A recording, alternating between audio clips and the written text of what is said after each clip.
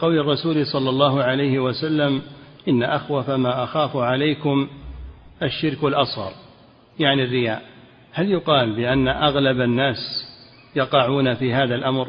ما في شك.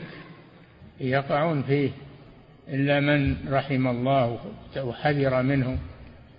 لا الإنسان يحب المدح يحب الثناء يحب عليه أنه أنه يتقي الله ويخلص العمل لله عز وجل. نعم